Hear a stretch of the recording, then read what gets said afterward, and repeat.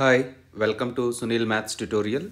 Galois theory, class number 7. In this video, we learn two theorems and one definition. Let us see the definition first. Embedding of f into e. Suppose capital E and f both are fields and there is a function, there is a mapping f maps capital f into e is a homomorphism is a homomorphism. Then this mapping f is called an embedding of f into e if it is 1 1 mapping if it is 1 1 mapping. So from this definition you, you understand that embedding means it is both homomorphism and one to one mapping. It is both one homomorphism mean homomorphism plus one to one mapping. So I repeat capital E and F are two fields and F is a function from small f is a function from field F into capital E another field is a homomorphism. Then this mapping F is called embedding of F into E if F is 1 1. So simply embedding means it is just a homomorphism and a 1-1 mapping from a field into another field. Now I prove one lemma. Let us see the statement. E and F be two fields and sigma maps E in F into E be an embedding of F into E. Then there exists a field K such that F is a subfield of K and sigma can be extended sigma can be extended to an isomorphism of k into e. So there is a mapping sigma that maps from f into e. It is embedding. It is embedding means this sigma is 1 1 and homomorphism.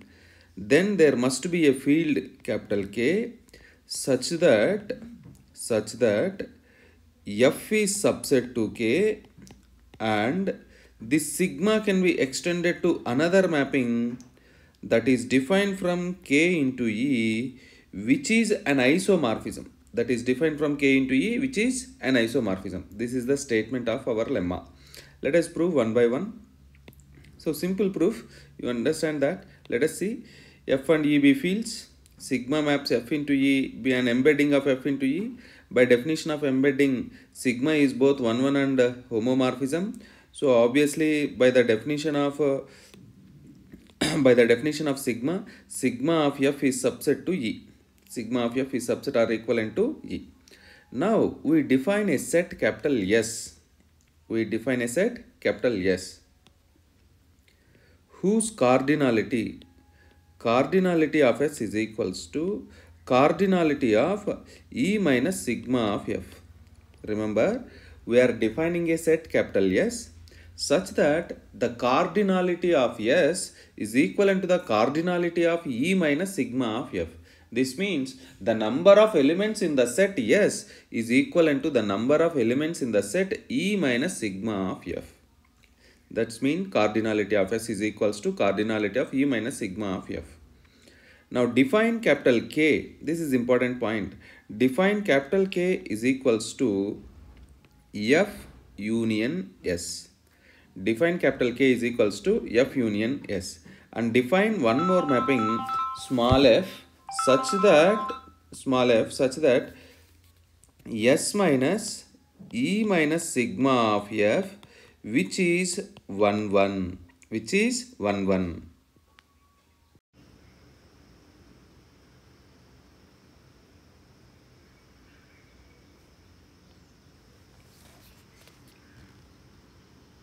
then sigma can be extended to sigma star which is defined from k into e and defined as you observe that sigma star of a is equals to it takes two values. It is equivalent to sigma of a and equivalent to f of a according to the element a belongs to f.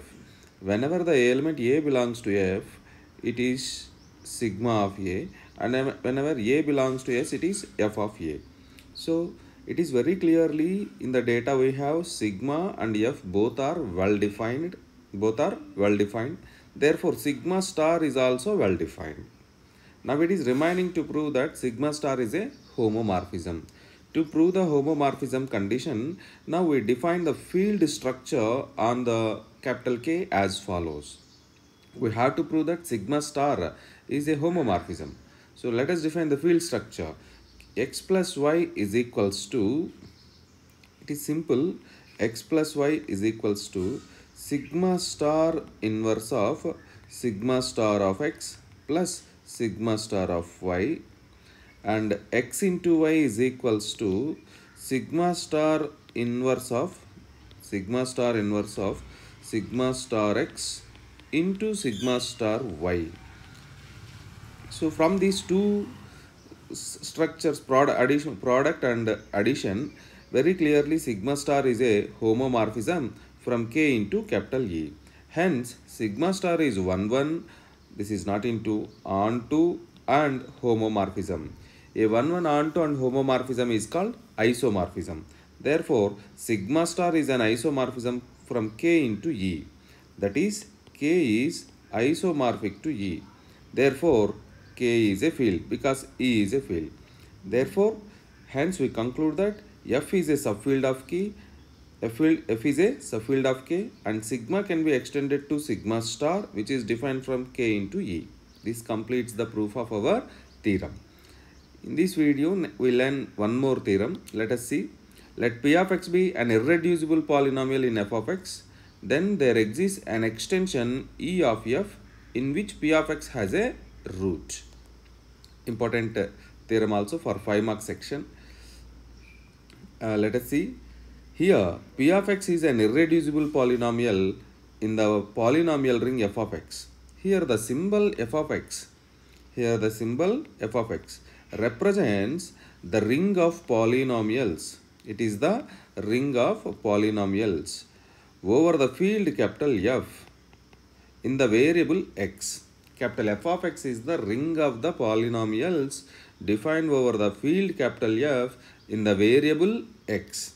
And they given that in the data we have the polynomial p of x is irreducible. The polynomial p of x is irreducible in the polynomial ring capital F of x. Now already we learned that the properties of f of x. By using the properties of f of x, here f of x is a polynomial f of x is a polynomial ring and p of x is an irreducible polynomial, it is very clearly generator p of x, generator p of x is a maximal ideal because p of x is irreducible.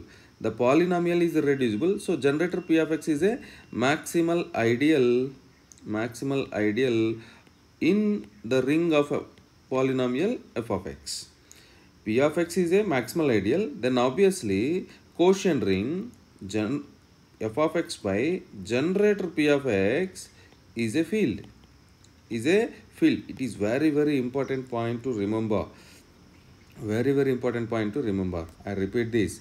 P of x is irreducible. P of x is irreducible in the polynomial ring f of x. Uh, when, then obviously the quotient ring f of x by generator p of x generator p of x is a maxim is a field. The converse also holds. Generator f of x by p of, uh, capital f of x by generator p of x is a field. That's it. So right. Now let us define this capital e is equals to let us define e is equals to capital f of x by generator p of x. Capital F of x by generator P of x. Now take an element uh, A belongs to F. If you take an element A belongs to F implies as there must be a corresponding element A bar which is in the form of A plus generator P of x A plus generator P of x is clearly belongs to capital E where E is the remember that where E is the f of x by generator P of x f of x by generator P of x this shows us, clearly this shows us capital E is an extension field of F. This shows us capital E is an extension field.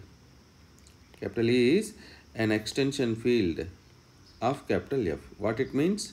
F is subset to E. F is subset to E. In another words, we written like this also. Is an extension of F. So right. By given hypothesis, they given that by given hypothesis, the P of x has a root in capital E. P of x has a root in capital E. Let us check it. This hypothesis is right or wrong. It means P of x bar is equals to 0. Now define P of x is equals to, now define P of x is equals to A naught plus A1x plus A2x square plus and so on plus a n x power n. So P of x bar is equals to 0 means a naught plus a1x plus a2x square plus and so on plus a n x power n whole bar is equals to 0. You can split this polynomial a naught bar plus a1x bar plus a2x square bar plus and so on plus an x power n bar is equals to 0. Because all these scalars a naught a1 and so on an are scalars. So a naught bar is equals to a naught a1 bar is equals to a1 an bar is equals to an so the above expression takes the form a naught plus a1 x bar plus a2 x bar square plus and so on plus a n x bar power n is equals to 0 this condition shows as x bar is a root of p of x x bar is a root of p of x x bar is a root of p of x and what is x bar x bar is equals to x plus generator p of x which belongs to capital F of x by generator p of x and which is equivalent to E. It means x bar belongs to capital E such that p of x bar is equals to 0. This condition shows us x bar is a root of p of x. x bar is a root of p of x. That is the required one also. Now you see here, therefore, capital E is an extension field of f and p of x has a root in capital E. That's it. This completes the proof of the theorem and I repeat the statement, we conclude this proof. If p of x be an irreducible polynomial in f of x, then there exists an extension E of f in which p of x has a root. By this statement, you must understand that for every irreducible polynomial, there must be an extension field in which that irreducible polynomial has a root. It means the polynomial is reducible in the extension field. To understand this, let us see this example. Let us see this example. x square plus 2 is equals to 0 or x square minus 2 is equals to 0. x is equals to plus or minus root 2. It means this polynomial x square minus 2 is redu reducible over capital R, irreducible over Q reducible over capital R, irreducible over capital Q. Or in another words, reducible over Q, irreducible over Q root 2. Therefore, same polynomial x square minus 2 has a root in Q root 2. Therefore, therefore, Q root 2 is an extension field of Q. Q root 2 is an extension field of Q. That's it. Keep learning. Wish you all the best.